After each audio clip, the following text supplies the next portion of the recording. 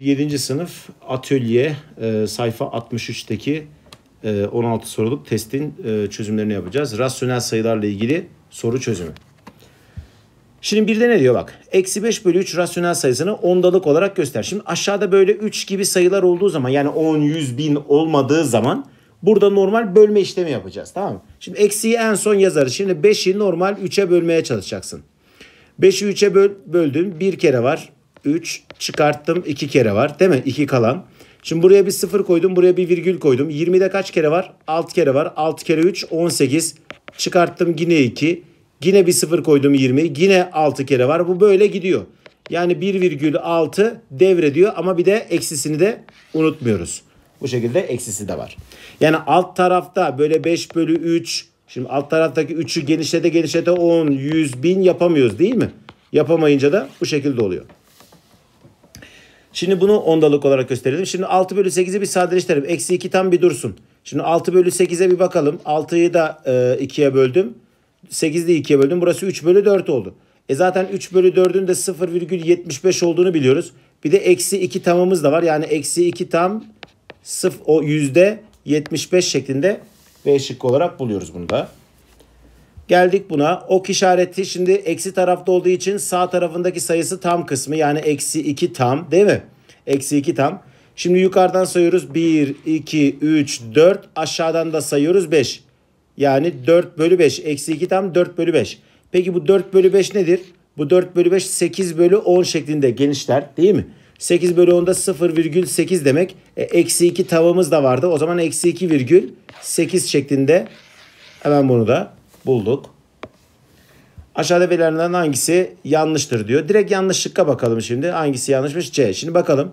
Şimdi 21 bölü 100. 21 bölü 100 ne demek? Burada iki tane sıfır olduğu için virgülü ne yapacak? 1, iki tane kalacak. Yani 0 virgül 21 yapacak. Ama burada ne demiş? 1 virgül 21 demiş. Yani bu da o zaman ne oldu? Yanlış oldu.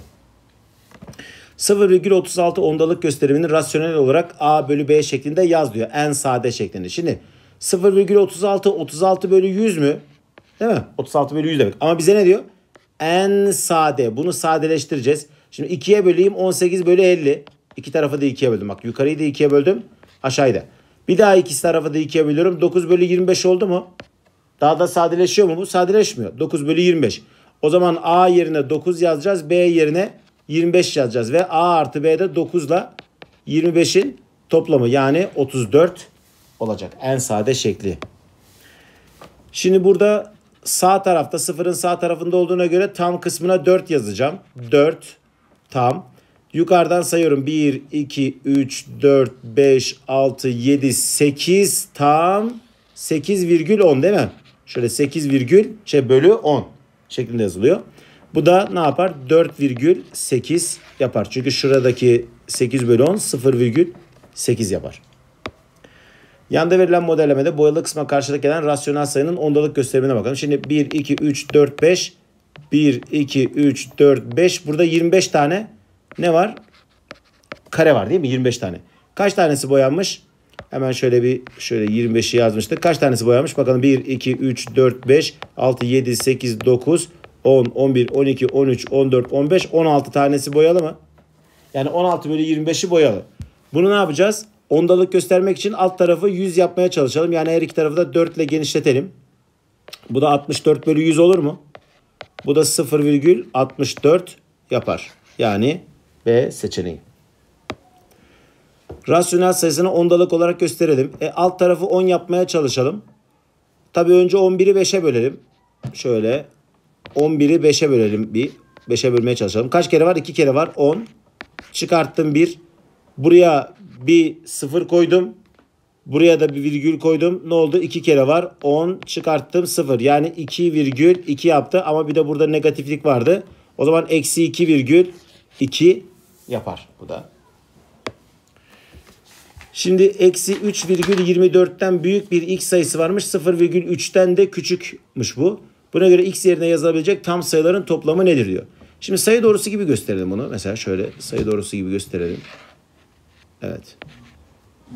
Şimdi x şimdi şurası 0 olsun. Diyelim ki 0. Şurası da örneğin eksi 0,3 olsun. Şurası normal 3 olsun. Şurası da eksi 3,24 olsun örneğin. Şurası tam 0. Değil mi? Şurası mesela eksi 1 olsun. Şurası eksi 2 olsun filan. O zaman bu x ne olacak? Eksi 3,24'ten büyük olduğuna göre mesela eksi 2 yazabilirim. Değil mi? Eksi 3 de yazabilirim. Çünkü eksi 3 yazarsam x yerine eksi 3,24'ten ne olur? Büyük olmuş olur. Eksi 3 daha büyük bir sayı. Eksi 3 yazabilirim. Eksi 2 yazabilirim. Eksi 1 de yazabilirim ama 0 yazamam. Buraya kadar gelecek. Yani eksi 3, eksi 2 ve eksi 1 yazarım. Bunların da toplamı ne yapar? Eksi 6 yapar. Evet. 9 bölü 15 e, ondalık olarak göster diyor bunu. Şimdi hemen göstermeye çalışalım. Önce bir sadeleştirelim. Eksi, bir kere eksi dursun. Eksiyi en son yazalım. 9 bölü 15. Yukarıyı da aşağıyı da 3'e bölüyorum. 3'e böldüğüm zaman 3 bölü 5 oldu bu.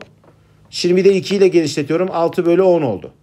6 bölü 10 da ne demek? 0,6 demek değil mi? En sonda eksisi vardı. Eksi 0,6 yaptı. Yani ne yaptım? 9 bölü 15'i önce sadeleştirdim. Ondan sonra bir de alt tarafı 10 yapacak şekilde bir daha genişlettim. Önce 3 ile sadeleştirdim. Sonra bir de 2 ile genişlettim. Aşağıda verilen eşitliklerden hangisi doğrudur diyor. Bakalım. Şimdi birincisi yanlış neden? Burada sadece 5 devrediyor ama burada 25'i devretmiş böyle. Değil mi? İkincisine bakıyorum 109'u devretmiş 8,109 demiş ama sonra 109'u devretmemiş 99 diye gitmiş. Değil mi? Olmamış. Burada 05 05 şeklinde devredecek. Eksi 3 evet 05 05 05 şeklinde devrediyor. O zaman C şıkkı burada doğru cevap oluyor. X ve Y birer pozitif tam sayıdır diyor. Şimdi bakalım 8 bölü 0,8 devrediyormuş. y bölü 3 de 0,6 devrediyormuş. Buna göre X ve Y'nin toplamı nedir diyor. Şimdi biz 0,8 devreden sayıyı ondalığa çevireceğiz. Nasıl çevireceğiz? Şöyle yapıyoruz. Sayıyı virgülsüz bir şekilde yazıyorum. Bölü devreden kadar yani bir tane devreden sayı var ya devreden kadar 9 yazıyorum. O zaman burası 8 bölü 9. E zaten bu 8 bölü 9 8 bölü x'e eşit olduğuna göre demek ki 8 bölü x'e eşitmiş. Demek ki x neymiş o zaman? 9'muş. Şimdi 0,6 devrediyor. Bunu rasyonele çeviriyorum. Sayıyı yazıyorum komple 6.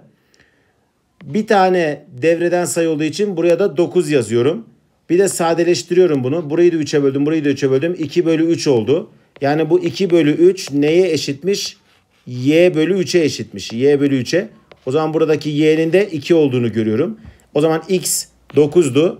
y de 2 idi. Toplam ne oldu o zaman? 11 oldu. Eksi 0,48 ondalık gösterimi aşağıdakilerden hangisine eşit değildir diyor. Şimdi bakalım. Bir kere A şıkkına eşittir. Çünkü niye? A şıkkı eksi 0,48 yapıyor. B şıkkını da 2 ile genişletirsen bu da 48 bölü 100 yapar mı? Eksisini de unutmayalım. Bu da aynısı yapıyor. Ama bakın C şıkkı ne? C şıkkı 1 bölü 2. 1 bölü 2 demek ne demek? 0,5 demek. Eksisini de unutmayalım. Değil mi? 1 bölü 2 neydi? 0,5. Yani bu konuda şunları bilmemiz lazım. Bakın mesela 1 bölü 2'nin 0,5 olduğunu. Ondan sonra 1 bölü 4'ün 0,25 olduğunu. Yine 3 bölü 4'ün de 0,75 olduğunu en azından şunları bilirsek soruları hızlı hızlı çözebiliriz. Geldik 14'e. Kaç tanesi doğrudur diyor. Şimdi ee, bakalım eksi 3 virgül onda 4. E burada da eksi 3 var. Şurası da 0,4 demek. Bu doğru. Bu doğru. E, ikincisi de doğru. Çünkü 7 bölü 10 demek 0,7 demek. Üçüncüsü de doğru. Çünkü 12'yi 10'a böldüğümüz zaman 1 bölü 2 yapar. 1,2 yapar. Şimdi geldik buraya. 9 bölü 2. Şimdi 9 bölü 2 ne demek? 4,5 demek zaten. Eksi 4,5. Yani 9'un yarısı ne? 4,5 değil mi? O zaman bunların ne oldu? Hepsi doğru oldu. Geldik buraya. Yukarıda verilenlerden değerleri birbirine eşit olanların kutusu boyanacaktır diyor. Buna göre aşağı yukarı hangisi oluşur diyor. Şimdi bakalım. 3 bölü 9 ne demek? 1 bölü 3 demek. 1 bölü 3. Şimdi burada 0,3 var. Şimdi 81 bölü 27'ye bakalım. 81 bölü 27. Şimdi 81 bölü 27 81'i 9'a böldüm. 9 27'yi de 9'a böldüm. 3. Burası zaten 3 yaptı. Yani şurası 3'müş aslında. Şimdi 36 bölü 108'e bakalım. Eksi 36 bölü 108. 36'nın 3 katı 108 yapıyor değil mi? O da ne yapıyor o zaman? Eksi 1 bölü 3 yapıyor. Yani şurası da eksi 1 bölü 3 yapıyor. Şurada da 1 bölü 3 var. Şimdi Aynı olanlar boyanacaktır diyor. Mesela bak şu kutu ile şuradaki çarpı da 1 bölü 3. Şurası da 1 bölü 3 değil mi? Bu ikisi 1 bölü 3 yaptı. Daha sonra e, başka ne var aynı? Şimdi zaten şu eksi olduğu için hiç kimseyle benzemedi. Değil mi? O boyalı olmayacak bir kere. Şimdi burada bir tane 3 var. Burada bir tane 0,3 var. 0,3 3 bölü 10 demek. Burada da bir tane 0,3 devrediyor var. Şimdi 0,3 devrediyor. Bu da 3 bölü 9 yapar. Yani bu da 1 bölü 3 yapar. Değil mi? O zaman bu da boyanacak. Bu da boyanacak. Yani o zaman C şıkkı mı yaptı? Evet. Yani şu üçünü bu üçü de 1 bölü 3 yaptı. Şimdi şu 0,3'ü bir daha anlatayım da şunu. Bunu bir daha tutturalım. Şimdi 0,3 devirli ya. Önce devirliyi görmeden 3'ü yazıyorum. Bölü. Bir tane devreden olduğu için bir tane 9 yazıyorum. Kural bu. Bu da 1